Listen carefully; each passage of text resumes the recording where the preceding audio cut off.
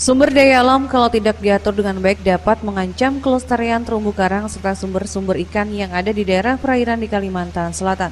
Hal tersebut merupakan salah satu latar belakang dalam pembuatan Raperda Pengelolaan Sumber Daya Perikanan dan Kelautan yang merupakan inisiatif dari Komisi 2 DPRD Kalsel. Latar belakang kenapa adanya perda ini. Hmm. Kedua memang uh, kondisi sumber daya kita uh, kalau tidak kita atur dengan baik maka akan uh, terancam.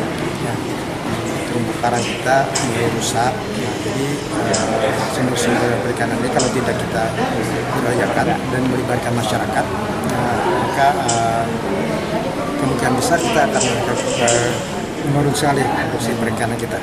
Jadi uh, pada dasarnya pengelolaan sumber daya ini adalah bagaimana uh, sumber daya kita terpelihara dan terus dikembangkan Selain itu perhatian dan kepedulian DPRD Kalsel terhadap pembangunan di bidang perikanan sangat diperlukan dalam upaya pelestarian sumber daya perikanan, baik tangkap maupun dalam meningkatkan hasil perikanan budidaya yang merupakan aset daerah yang sangat berharga.